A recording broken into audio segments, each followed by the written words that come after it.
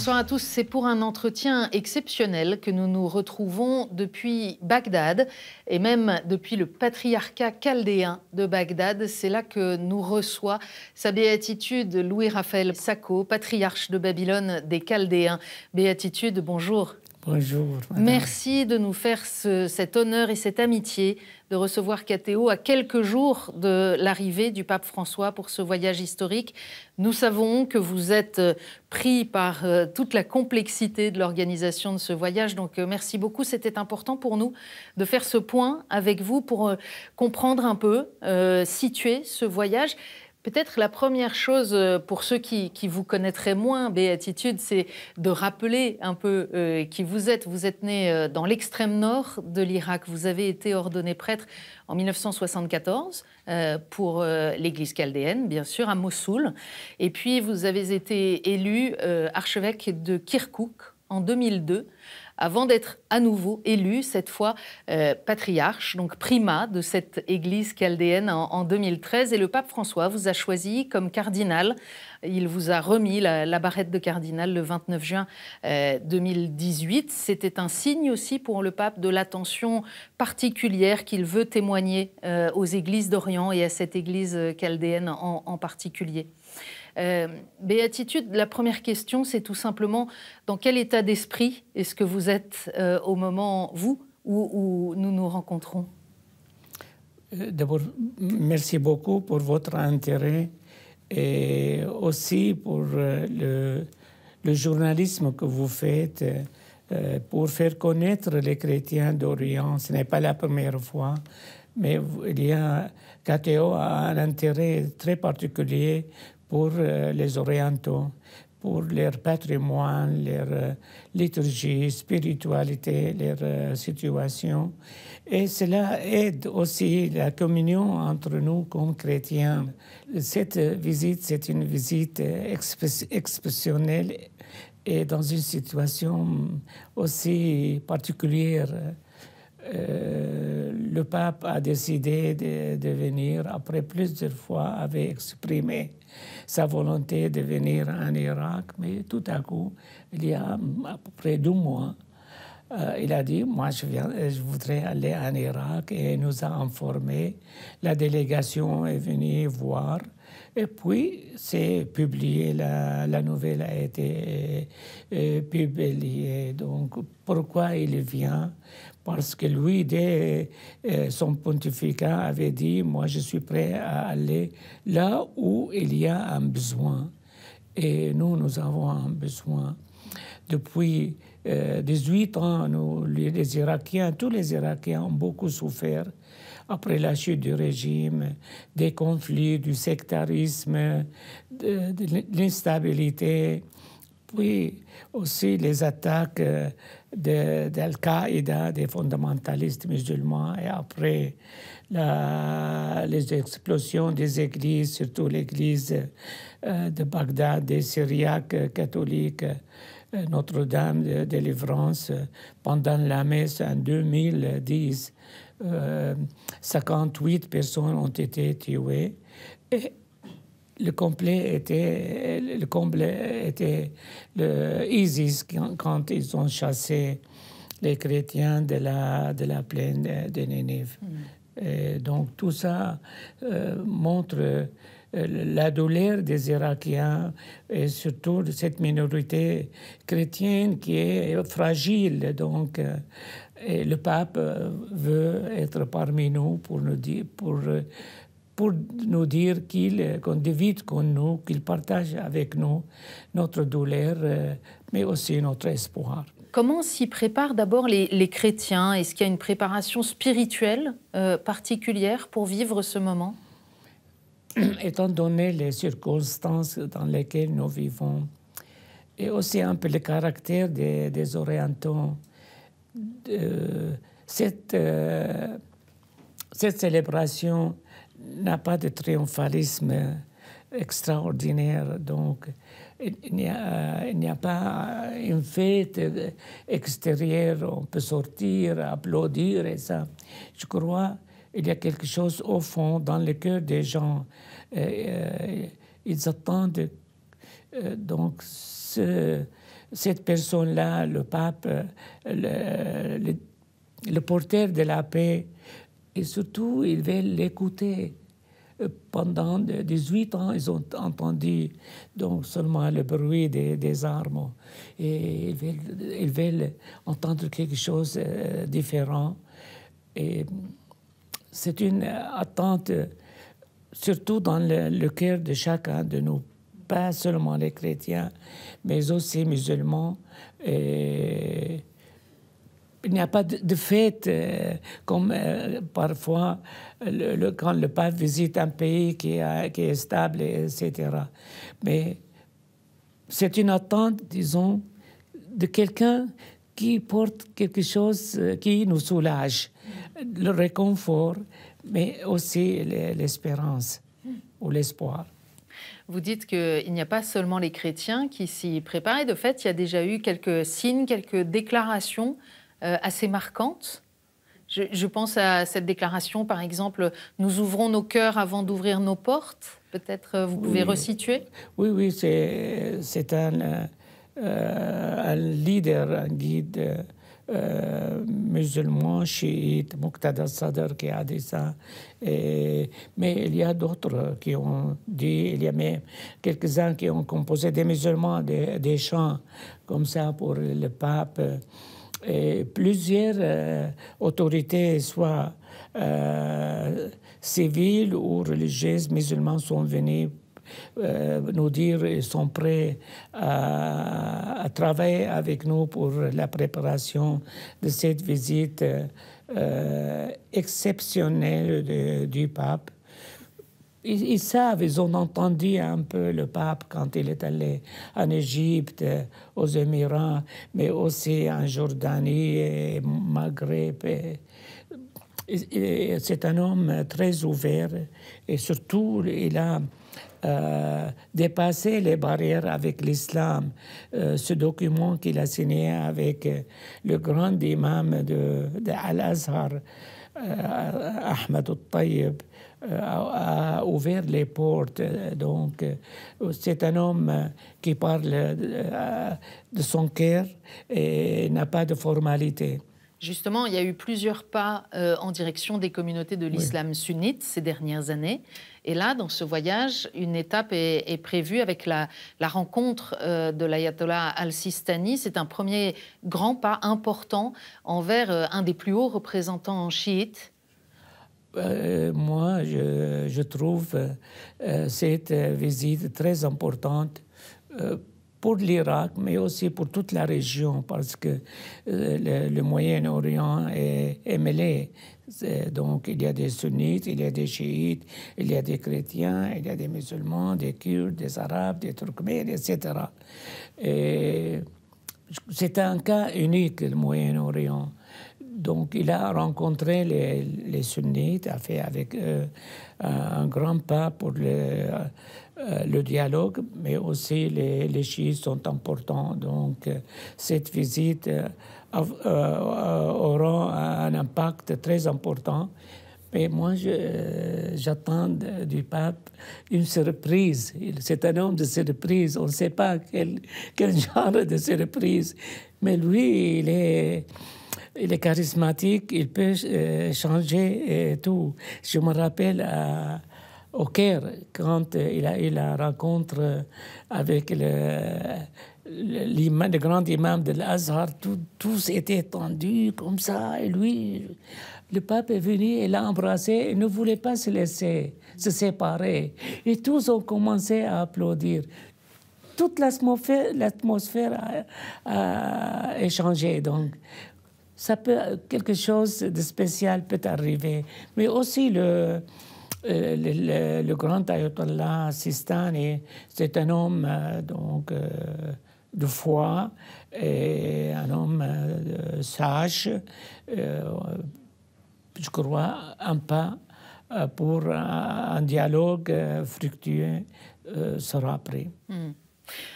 Revenons à la situation des, Irakiens qui, traversent une espèce de triple crise en ce moment, une crise politique, une crise économique et bien sûr la crise sanitaire. Si on s'arrête un instant sur le contexte politique, est-ce que vous diriez qu'aujourd'hui le pays est stabilisé?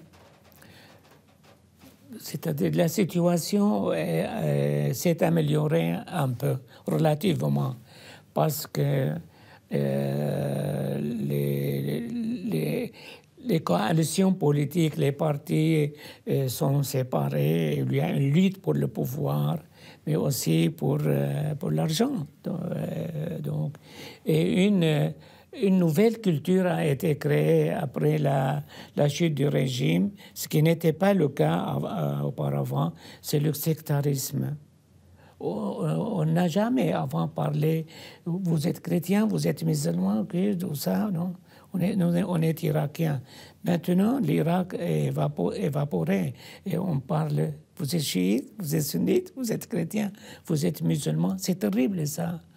Et je crois c'est la raison pour laquelle ces jeunes-là sont sortis euh, dans les rues pour euh, euh, revendiquer euh, nous, nous, avons besoin d'une patrie. On rappelle, c'est 2019, 2020, toute une série de manifestations et jusqu'à maintenant, et avec parfois d'ailleurs des, des, répressions, des tensions fortes. Mais les, revendications sont, sont, très justes. Nous voulons une patrie, une identité, la citoyenneté, je crois, euh, avec force que euh, la solution ou l'unique solution pour ces pays-là est, la, citoyenneté et la séparation de la religion et de l'État. Ce sont deux choses différentes. différentes.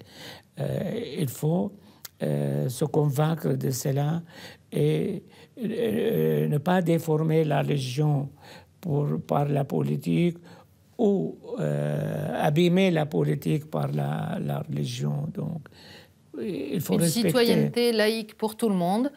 Pour que ça ne soit plus des communautarismes qui se qui, qui s'affrontent. Je suis citoyen, peu importe. Et ça, c'est l'aspiration des jeunes. Oui, oui, oui, beaucoup. Et il y a parmi eux des chrétiens aussi, et des chrétiennes. Euh, le, mouvement des femmes pour un régime euh, civil, euh, les, les pionnières sont des, chrétiennes, des femmes chrétiennes. Et, au-delà de cette citoyenneté, la jeunesse dira qu'elle elle aspire à quoi pour pouvoir se projeter dans l'avenir de ce pays? Oh, Un changement de régime, des réformes et donner euh, donc les élections, respecter les élections et non pas euh, donc les falsifier, faire une fraude, euh, acheter les voix des gens avec de l'argent ou bien avec des, des, menaces.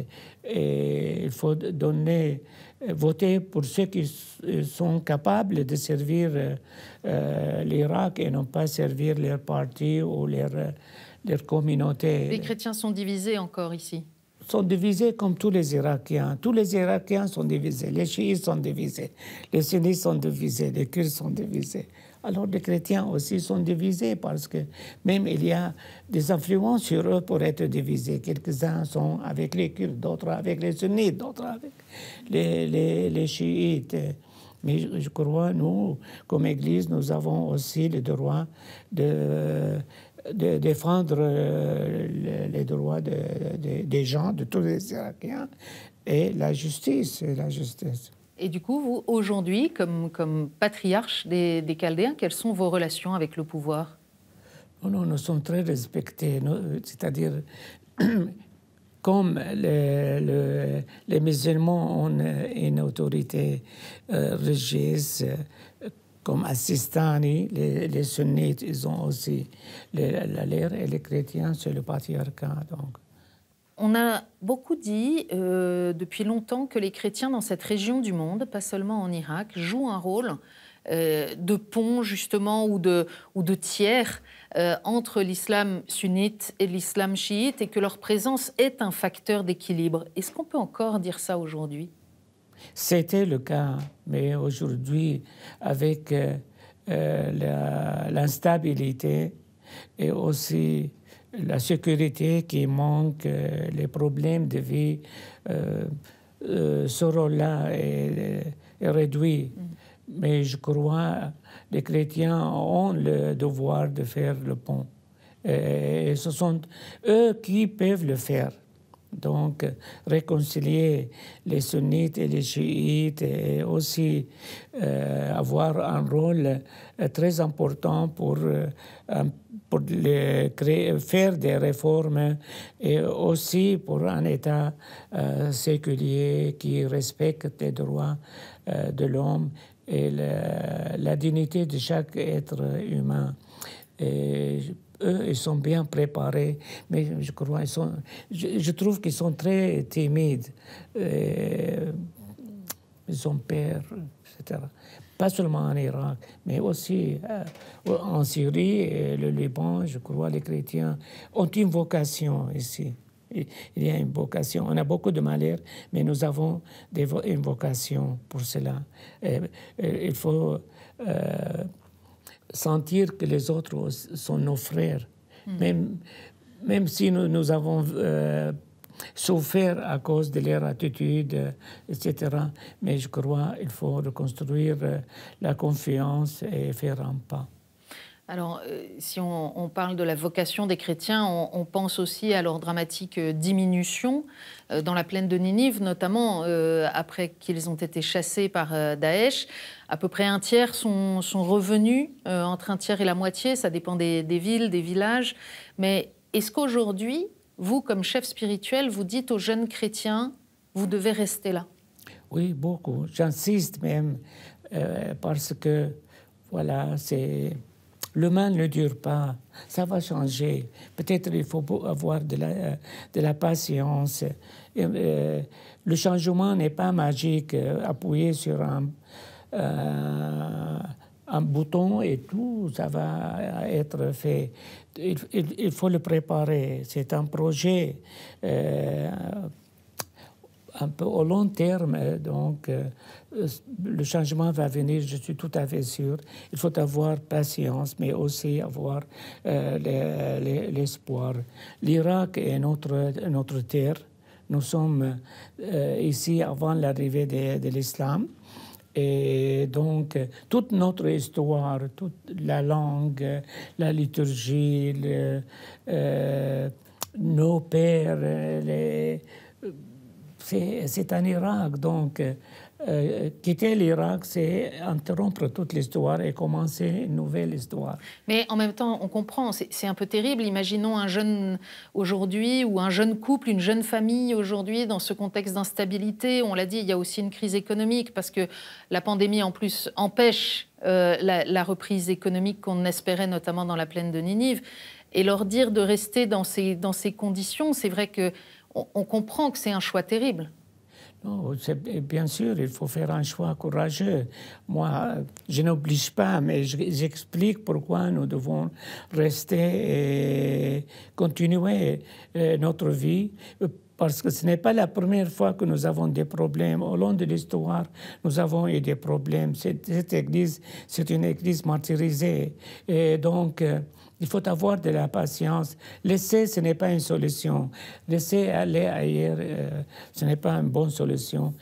Quoique moi, je respecte la, donc, la décision personnelle ou familiale. Les gens qui, ont, qui veulent aller sont libres. On ne les oblige pas. Mais il faut euh, aussi éduquer les gens et les former euh, pour prendre leurs responsabilités au plan humain, mais aussi au plan chrétien de la foi.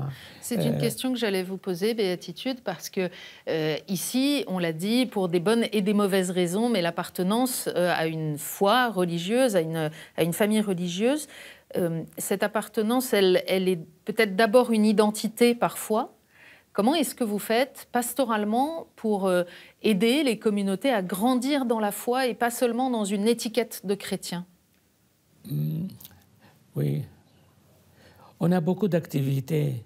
Euh, je crois que euh, l'Église, la première euh, mission de l'Église est de, former les gens, les cultiver, instruire.